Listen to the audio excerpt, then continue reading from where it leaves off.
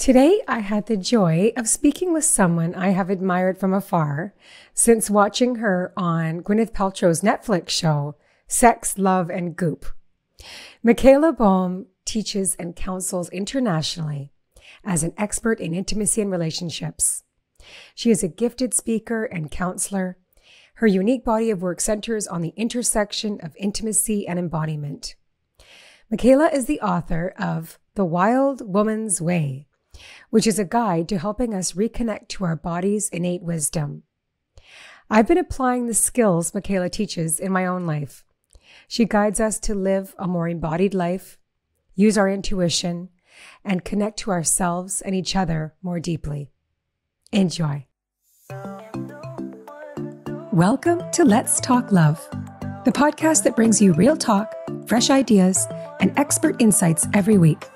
Our guests are the most trusted voices in love and relationships, and they're here for you with tools, information, and friendly advice to help you expand the ways you love, relate, and communicate.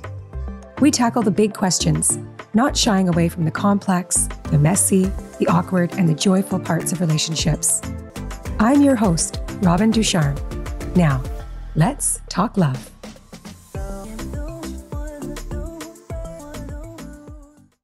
Hello, everyone, and welcome to this episode of Let's Talk Love. I'm so excited to welcome our beautiful guest today, Michaela Boehm. Thank you for joining us, Michaela. Oh, hello, and thanks for having me. This is this is really exciting. I met you on the screen. I didn't meet you in person, but I was introduced to you when I was watching Love, Sex, and Goop.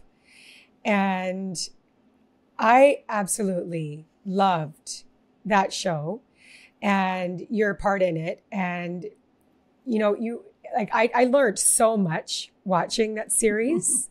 and over the last few weeks, I've been reading your book, The Wild Woman's Way, and continue um, my journey of learning from you, Michaela. And I just wanted to say, like, I just, I, I love the work you're doing in the world. And I'm just excited to talk about talk to you and re- and continue continue learning from you. I, you know, it's funny because every week I interview um, an, a different relationship expert, and I think there's something beautiful and synchronistic about the work that we're doing because when I when I read the books and then I interview the expert, it's like the, this is the, what I needed to learn at this exact time in my life. And can you talk to us about your book and what it's about? Why you why you wrote the book. Yes, well, it's the hopefully one of many to come, um, because it's it was a yes. kind of a first entry into uh, a body of work that I've created over more than 25 years now.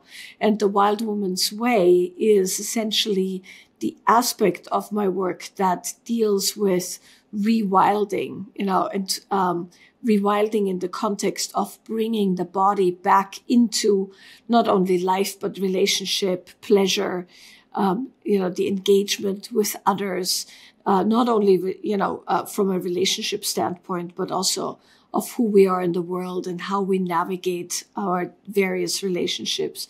And so I, it was really meant to be a manual for women in the 21st century and the demands that we have on our bodies and our, you know, emotions and our minds in the context of it being so busy and there being so much doing and so little bit, so little, I should say, you know, of the being and relaxing and having the aspects that are dear to most of us.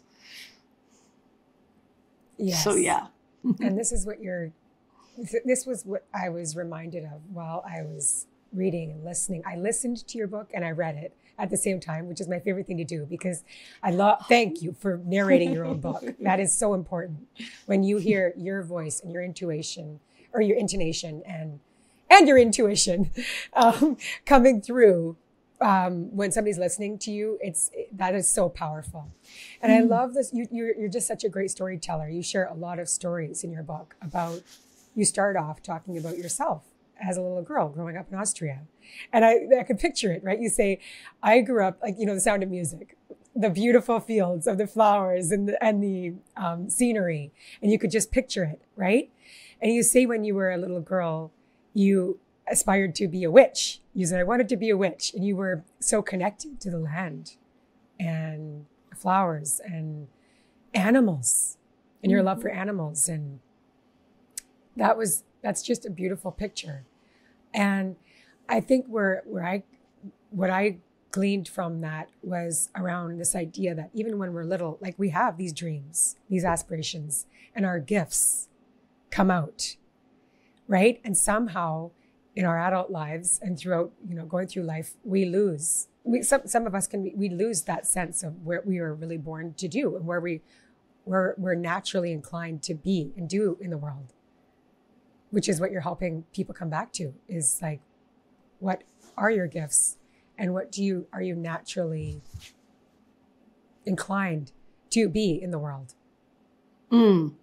Yeah mm-hmm. and i think yes for yeah and i'm very passionate about that particularly in the context of who we are when it comes not only to relationship but to who we are in the world because a lot of times we're told we're not enough of this or this part of us is sufficient is not sufficient or we should change. And a lot of the personal growth industry of course is all about um, if you could just change this or have this breakthrough you'd be okay and the whole concept of rewilding is essentially coming yeah. back to our original nature and with that of course to who we really are when we're not forced to be whatever, right? The, the thing that society or our own conditioning or other people's conditioning forces us to be. And so that's, it's, I think, very important that when we kind of remember who we really are, that's a gift to everyone, including ourselves. Absolutely.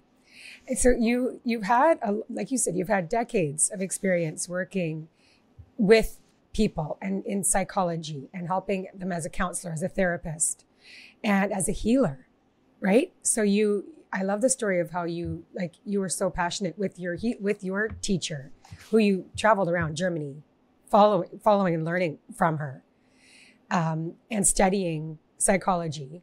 And then you landed your your can you talk to us about your practice in Los Angeles and how you came to that point in your life after so many years of doing it and being so busy and you know 8 hours of work working in therapy with these high influential clients and then at night you're working more and more because you're you've got a, bit, a very busy practice that you're running in a very busy place of Los Angeles down mm-hmm. right and then you decided okay this is this this can't be for me anymore I need to rewild almost. You started your own process of rewilding and moving to the country where you've got this home now.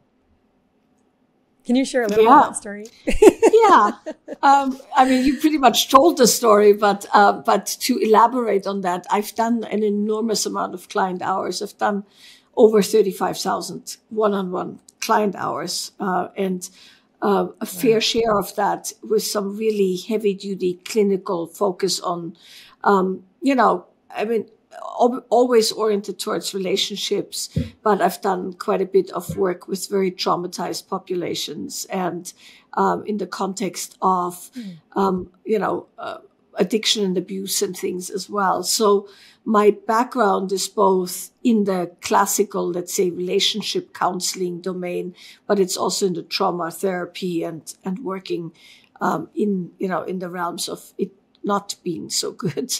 And um, that, of course, takes a toll mm. on, on the body and the mind as well. And so, um, about 10 or 12 years into doing that, I decided I needed a bit more space as well. And uh, I found this gorgeous, gorgeous property about an hour and a half north of uh, Los Angeles. And I eventually transitioned and that transition in itself was both excruciating and miraculous in the sense that I still maintained an apartment and an office in West Hollywood and I lived out here and the gap got bigger and bigger. And um, I had to kind of, you know, eventually make some decisions around uh, not doing, you know, the office anymore.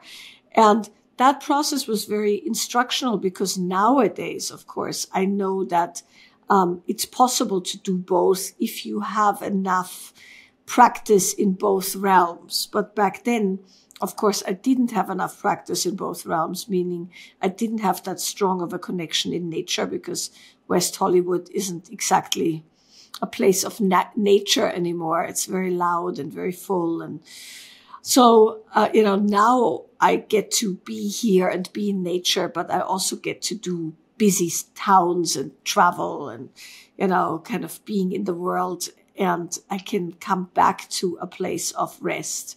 Uh, I can also find that place of rest more internal, but it took the coming back to nature uh, you know, externally first before I could come back to nature internally. Yeah.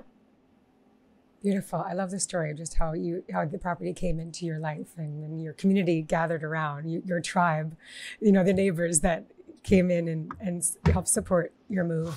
It's just beautiful. So you're you are helping women and men rewild. And you talk about a wild woman archetype. Can you explain to us really what an archetype is and what the wild woman archetype is? Yes, I can. so, um, well, first of all, archetypes in general, right, are essentially a way to bring uh, collective experiences into from the subconscious or in Jung, you know, Jung would call it the collective unconscious into conscious awareness.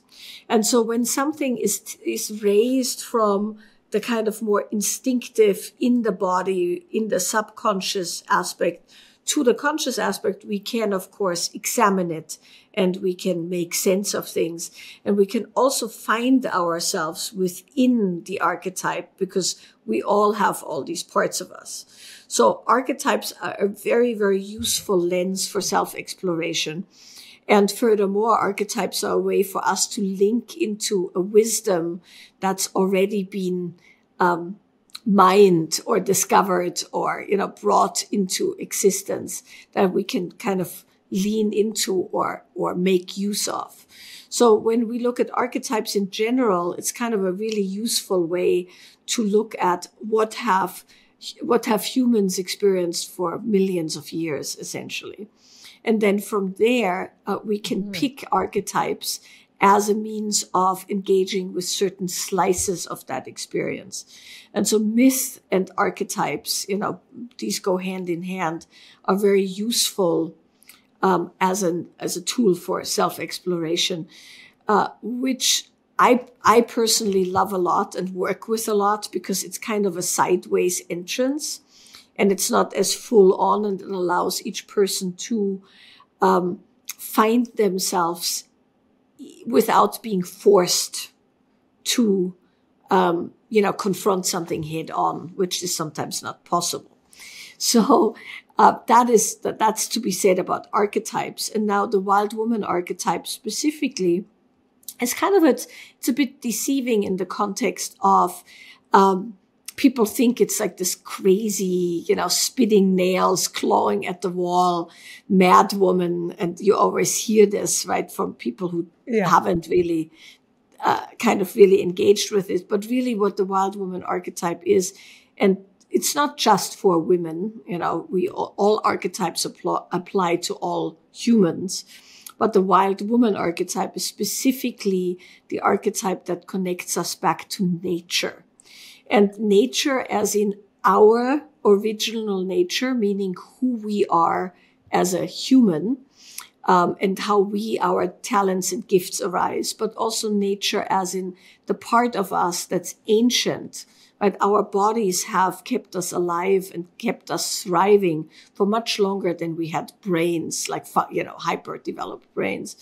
So that part of us that is essentially connected to instinct, connected to um, how to live and thrive and survive in in the world. That's the wild woman. And furthermore, the wild woman is the part of us that is connected to rhythms, our own, with, you know, could be menstrual cycles or circadian rhythms or things of that nature. And then how our body rela- relates with the natural world, meaning the rising and falling of tides, the moon, uh, seasons, uh, sunlight versus, you know, the sun going down.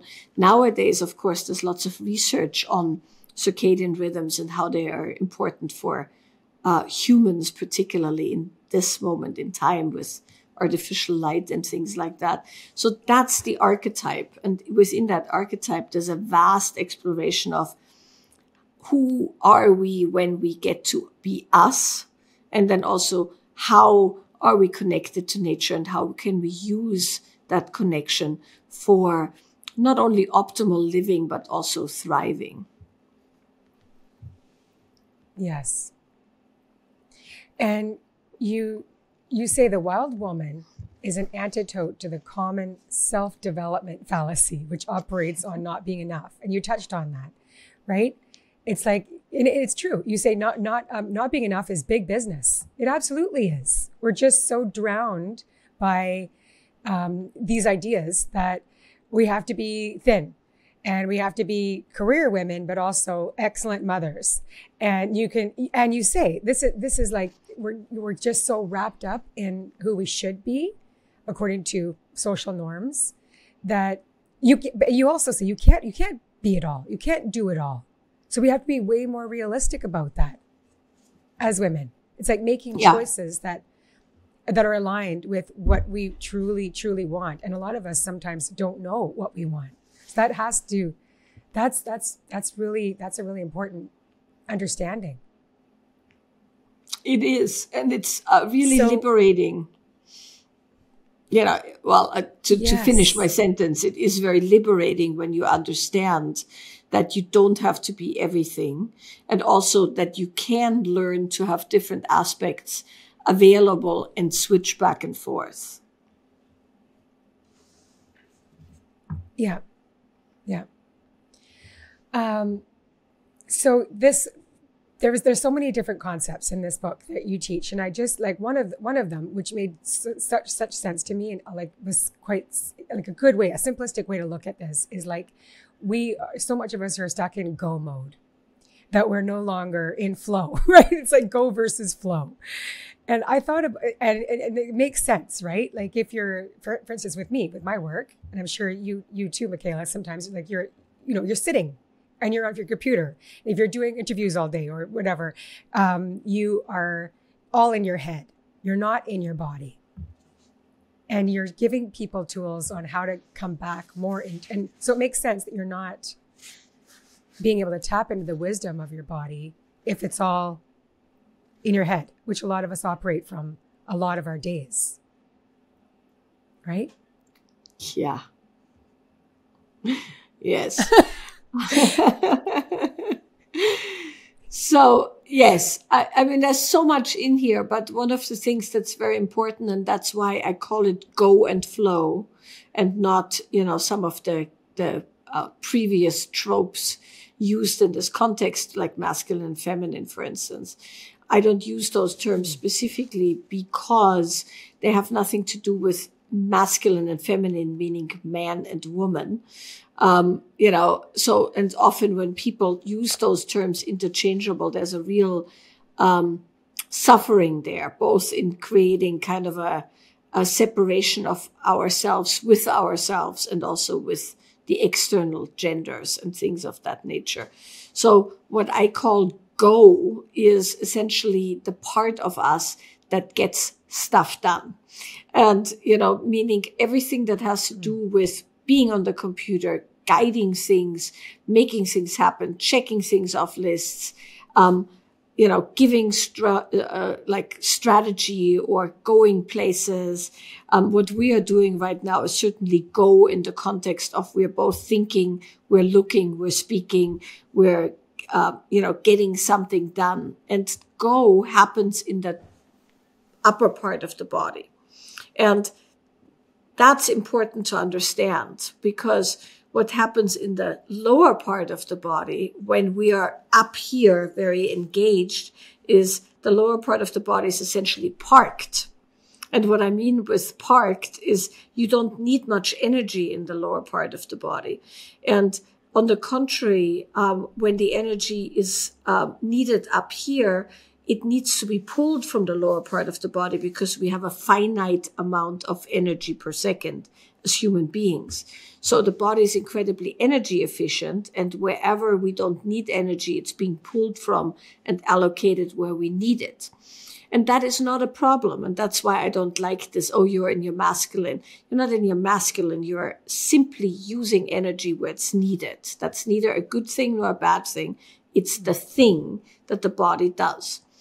So at the same time, when we do need the energy further down in our body, we typically need that energy further down in the body for things like um, pleasure, intuition, boundary setting, mm. sourcing extra power, um, you know, grounding, all of those things that happen in the lower body, which is what I call flow, relaxation, enjoyment, you know.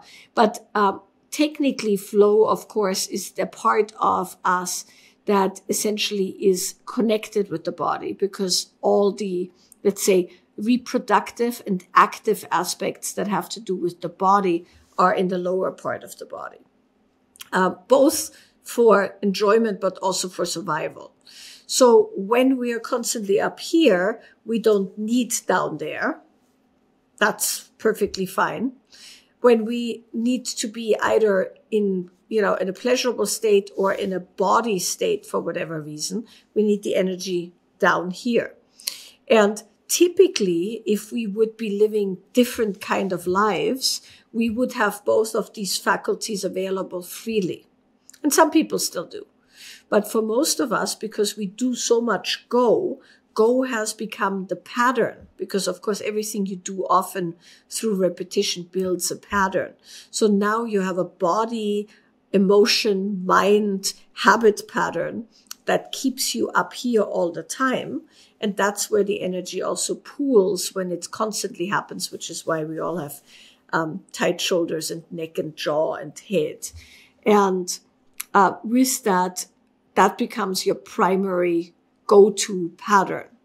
And then when you want to have flow, that pattern isn't as developed. It's a little bit, I always liken it with mm-hmm. bodybuilders, right? You see bodybuilders who have like these massive upper bodies and then they have these spindly little legs because they don't actually train their legs and their butt.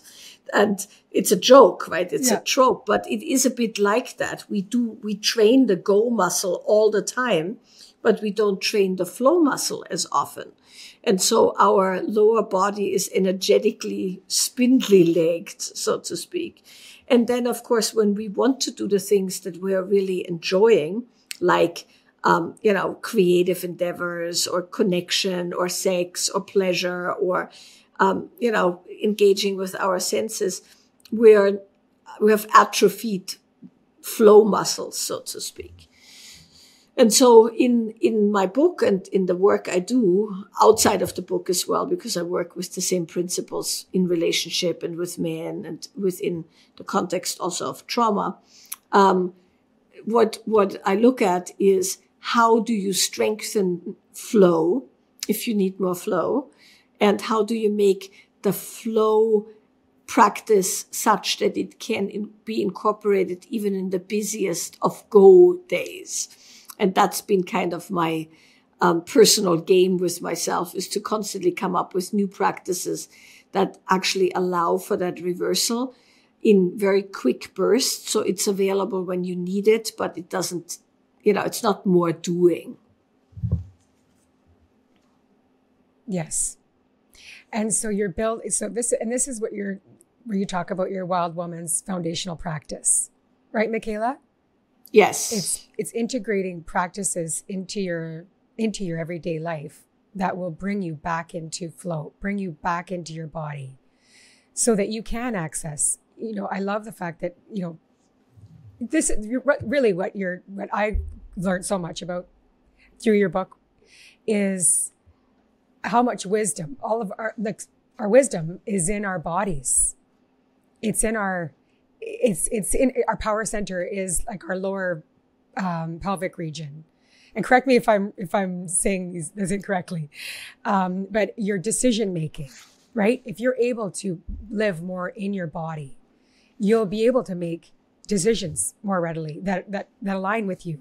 Your intuition, your your you, you teach different intuition um, honing practices, and like you said, this this is practices. These are skills that you can build, which yes, it makes it makes perfect sense, right? Um, and this is why it's so important. I think that there's so many of us that are we've lost touch with making the right. We're, we're like, like, how do I make that decision? You're like, you're stuck, and and and one way to get back into it, which is like these simple tools that you're teaching, is to get back into your body. I was just, anyways, it's profound. It, it, it's not complicated, but it's very important. It really is. Like I was, I want to tell you this week, I was, because I work at my desk so much and I was like, okay, I'm going to apply what Michaela's teaching here. I'm going to like just lay on my couch for a bit. My body is telling me I'm really tired and I need to rest. Like this is not good. But I was like, and you're thinking, and I'm thinking, okay, Robin, you got to take a break, but that's not, that's a good thing. It's a very, very good thing that my body's telling me you just need to rest, lay down and breathe deep. And how important rest is, Michaela. Yeah. Right? Yes. yes. Well, there's a lot of things in what you just said. And, and the, I think the important thing is to understand that it's not about fetishizing the body, so to speak, as like the best of the best of the best tools. It's bringing the body back into the general, um, let's say, consortium of advisors, right? So what I mean by that is uh, yeah. we have different faculties, one of which, of course, is our body and then our emotions and our mind. And, you know, and then there's education and things like that. So, uh, one of the things that happens when we are primarily in our head, then that becomes the biggest advisor, so to speak. And very often, um, even our heart is kind of put second to the mind because the mind is just so very, very, very developed. And so what all these practices are about is to essentially avail ourselves of this real wisdom that happens in the body and that then also encompasses more of the emotion uh, as an available tool, but not um, foregoing the mind, obviously, but integrating mm-hmm. those aspects, right? And so w- when you're saying you can feel how tired you are and you're actually laying down, that is key for, let's say, long-term success in managing your system. Because if you're constantly overriding the body for the sake of the mind, you'll burn out and people do it all the time, right? Your adrenals are fried. Your nervous system is no longer able to um, regulate itself. And that's a very bad state to be in. So we have to fairly heavily lean on body practices in the context of creating a balance. But then once that's done, then uh, you can pick and choose what you need, right? You can sometimes make decisions with your mind that override, let's say, fatigue. But then the moment you're done with that, you can also hear the fatigue and give it space and actually rest. And you can learn the difference between, let's say, habitual chronic tension and situational tension when you need it. And, you know, there's, there's a lot in there where you can work with your body for really optimal performance, so to speak. Yes.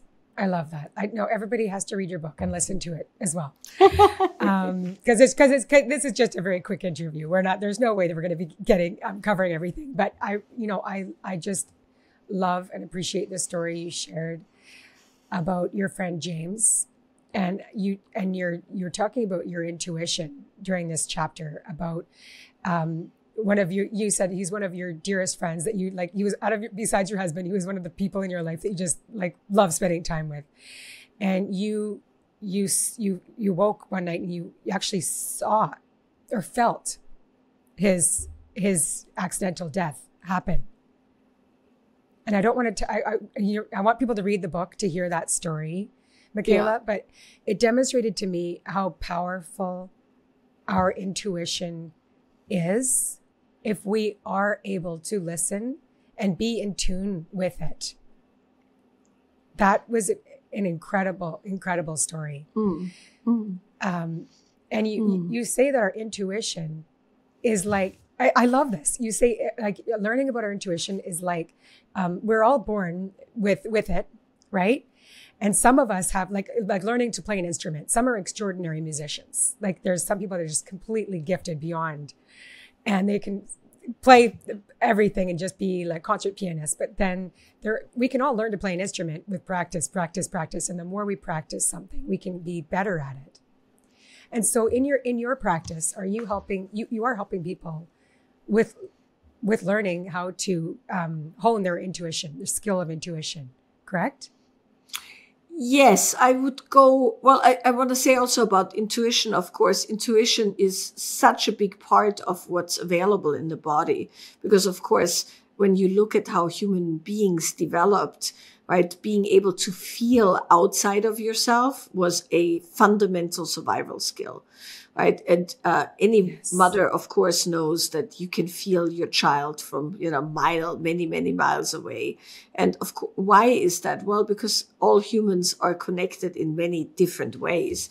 Um, you know, uh, you don't even have to be very spiritual or metaphysical, just mirror neurons in the body, right? I mean, there's so much there that allowed us to actually survive. And anybody who's ever hunted or fished, right, knows that you can with your body feel the movement of animals and so on and so on, right? So it's, it's not exactly, you know, some highly esoteric thing when we talk about developing no. intuition. And I want to say that because a lot of time people think that's like the domain of psychics or something like that. And it's not. It's something that's a big part of what we are able uh, to do. And, uh, you know, it's very useful. And so within the context of that, my entire work is essentially geared towards giving people access to the skills that they um, have or, or to the attributes that they have naturally. And so my entire work is about skill development, essentially, because these are all skills, right? They're not, yes. Um, they're not voodoo or woo woo kind of things. Um, they're all learnable skills. Everything from, you know, intuition to dating to, um, how do you use your body for different things in different times um, it's skill development. And when you take it out of the kind of magical realm of, oh, how did that happen to this is how this happens. And you can practice it and you can actually repeat certain actions and, and practices and become sufficient. I think that's uh, very empowering for people when they understand that. Yes. You you share a story about a client that you were working with who had different job offers available to her, and she she did use she she she sat with those opportunities. I think it was between two or three opportunities, and she was going into herself and tapped into her intuition and her body and her all of her faculties and decided okay this one out of the opportunities this one feels the best and it turned out she she made the right which i think this is it. Like the more we practice and she made the right decision. And I, you shared that um, within a few weeks or months I, um, it was at that that opportunity the other opportunity was like the company did a quick layoff of all their new employees. It was just like oh well she's like thank goodness i i did i did make the right decision and i followed my intuition on it. And it, it didn't steer me wrong. And yeah. i think we can all have we all have similar experiences when we can really tap into our own wisdom and be like that didn't that other opportunity didn't feel right. This one felt better. So can we let's talk about dating and relationships and how all that of course we have to come full circle because a lot of our listeners, of course, this is what they we want to learn, right? How to be better in relationship. And so how do you suggest people who to prepare themselves when they're while they're dating, even before they start dating, let's say, to make the right or let's just go with that question and see what I would love to see what you have to say about that, Michaela. Yeah, I mean, I think it's very important that we make some distinctions around that, right? So, um, hmm. one aspect of getting into relationship or maintaining a relationship is, of course, um, well, let's see how I can say this. There's psychological aspects and then there is skill development aspects and both need to be addressed. It's just quite mm-hmm. interesting mm-hmm. that mostly when people address the psychological aspect, they often address it outside of the, let's say, skill development aspect. Meaning people might go to a counselor or therapist while they're not in a relationship or when they're in trouble in a relationship, right? These are usually the two hmm. options is that people go to a therapist when, um, they can't get the relationship they want, or they notice that there's something that's holding them back, or they go when there's trouble. You know, very few people, um, understand that, you know, it's useful to understand what's happening when you're not in uh, let's say, a dire strait situation. That's the first thing to say yes. there. It's that yes. um, having an understanding or, or a roadmap is very important. I'll talk a little bit about how to do that. But then the other aspect is that, of course, um, once you have a roadmap, you can you can only learn by doing meaning it's all in the skill development domain and you can only develop a skill when you actually practice. So, you know, we, we, you were talking earlier about learning an instrument. If you've never played the piano and suddenly I want you to play whatever, Bach on the piano, you're going to not be able to do that because mm. you're actually unable to mobilize the motor skills or the, you know, musical skills to play. Even if you're very musical and you know the concerto, you're not having the dexterity to play it in the way it needs to be played. This is true in relationship, it's true in sex, it's true in dating. If you don't have, so to speak, the motor skills or the pathways, you're going to have a very hard time. Can it spontaneously be great? Absolutely. But um, how are you going to make it happen? You will need some skills. So there's the psychological background, and then there is the skill development um, aspect that happens on the job, so to speak. so I'll, yes. I'll talk a little bit about the psychological just as a uh, as a means of saying that I liken understanding your psychological aspect to having a, a map. And so, for instance, if I'm, I'm about to go up to Esalen, you know, Big Sur, it's like really wild and and you know uh, very um, overgrown up there. And you know there's a vast stretch of land between the highway and you know the the the mountains behind it that's just wild. So i always think about how, what it must have been for the first settlers to make it through these mountains not knowing where they would end up since they had no idea what was on the other side. So it's very hard to find your way or to navigate properly if you don't have a an overview.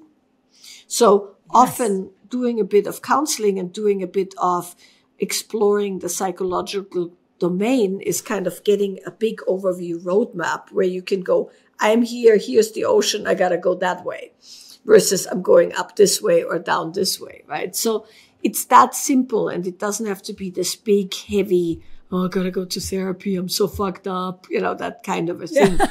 it's yeah. Uh, you could you could look at uh, the appropriate counseling as a means of getting a roadmap. Makes it a lot easier. And then though, you have to assess which are the skills you need and how do you get them.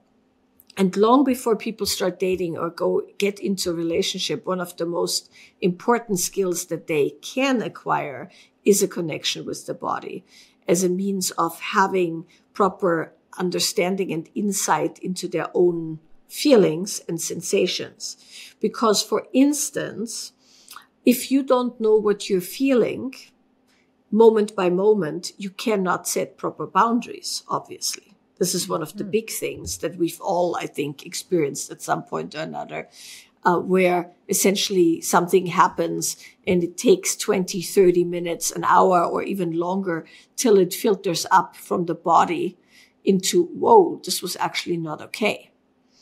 Right? I don't know if you've ever experienced that gap where you're in a meeting or, you know, in some situation and you're like, eh, and you know, you're just going ahead. And then suddenly, half an hour later, when you're out of that situation, you're like, that didn't this feel good. Th- that this didn't yeah. feel good. This wasn't okay. Then it's very hard to get back to setting the boundary because time has passed. So one of the most fundamental thing that people can learn how to do and that I teach everyone who comes in contact with me in some way or another um, is becoming current with what's happening in our inner landscape. Uh, this in neuroscience, this is called interoceptive awareness, meaning the ability to understand physical sensations, emotions, and accompanying thoughts as they arise. This is also what we in our work call embodiment, because mm-hmm. embodiment is nothing else but um, the, um, the being able to listen to the messages of the body. And when that's done, the opposite end of the or, or the, the other side of the coin of proper boundary setting is of course high responsiveness and high responsiveness in the in the positive aspect is pleasure enjoyment um, you know, the ability to feel really good about uh, the interaction. Um, so, and those are both incredibly valuable and important skills when you start dating and also later in relationship is the ability to set proper boundaries. And then on the other end, um, the ability to be responsive to pleasant stimulus. Mm-hmm. And you, there's a section in the book about um, how a lot of women in particular uh, will date potential. Yes. And this is like this trap, right? Because we're, we're um, wired to be nurturers and care for people. And it's like, these are things like you, you, we could really pick out the great things in somebody, but we're overriding things that we're, it's like, it's almost like it's this people pleasing too in our society as women like we're, um, it's like this codependency, right? We want to be wanted or needed. And so, and we can be the fixer uppers. Can you talk to us about the potential, the trap we can get into in dating? Yes. Yes. And yes. It's, it so, it's so prevalent. it is literally the fixer upper where you essentially take the apartment nobody else wants with, uh, with, uh, you know, and essentially with a view of fixing it up and uh, you know harvesting the potential of the of the of the fixer upper. And that's a very bad idea when it comes to relationship. And so essentially the very cold hard truth here is if you can't live with any trait of your prospective partner as it is right now you shouldn't be with them and that's very, very hard for most people because, like you said, on one end, we, well, on one end, we sometimes don't feel that we deserve any better. Right? Uh, there's lots of people who essentially look at that fixer upper apartment and go, well, this we can afford, this we can make happen, this is within our budget, right? And the psychological or emotional uh, uh, you know, equivalent in relationship is that sometimes we look at somebody um, who is not really up to the standards that one would expect. And this is, of course, very subjective. You know, when I say up to the standard, I'll explain that in a second. But we go, well, with the right kind of clothes and the, you know, and the right kind of attention and with a little bit of love and with, um, you know, a little bit of time. This is going to be the guy that commits to me. And the, and the answer is no. Yeah. If he's not willing yes. to commit to you now, you should not be with him. Doesn't make him a bad human being, just makes him not your human being. And human that's being. the important thing, right? It's just, it's not about devaluing somebody or, or denying them who they are. It's just assessing if who they are really works for who you are. And so, for instance, I see this a lot, of course, with women in their 30s who now want a life partner to have children with, but are, you know, constantly going with guys who are maybe five or 10 years away from that, if at all. And the guys might even say, yeah, I don't want children right now. And all the women here is right now. But of course, when it comes to something like children, 10 years from now is not a time you can wait, obviously. And beyond yeah. that, you know, if, if somebody doesn't like, um, the job or the, the family or the situation that somebody they're dating is in, there is a subtle disapproving of who they are, which they will also be able to feel. So anytime you're trying to um, fix up the fixer upper, what you're saying is you're not good enough for me as you are right now. And that's a really horrible thing because it's the equivalent. We're talking women to men in what you just said. This goes other ways too, but it's the equivalent of a guy saying, well, if you were 30 pounds lighter and a blonde uh, and knew two languages, you'd be my perfect girlfriend. You'd mm. run really fast unless you have very, very, very difficult internal processes in place, right? You'd run very fast if a guy demanded that kind of stuff from you. Um, you know, or even worse, if he'd, if he'd say, well, not only do you need to lose 40 pounds, but I also need you to be 5'11 and a blonde, right? And it's like, mm, buddy, you're barking up the wrong tree. The same is true when we expect a man to, um, you know, be things that he clearly isn't. It's, it's very hard for the partner in question as well because they'll constantly feel that subtle disapproval and then that creates whole other kind of unpleasant dynamics in the relationship i think you hit the nail on the head michaela about when you're dating somebody it's like you you need to be really um you like you said you have to be accepting of and if you're not then you like pay attention right because we're not we, we we're not here to change people. I think that's that's what that's yeah. really what it comes down to, right? Yeah. We can all change, um, but it's not like the fundamentals of who you are is who you are, right? That's the thing, absolutely. And people do change in relationship, and certainly being loved and being cherished does change somebody for the better. But if if you're waiting for somebody to become something else, you're not loving and cherishing them as who they are. And so it's not that you cannot um, want to develop or somebody who is willing to develop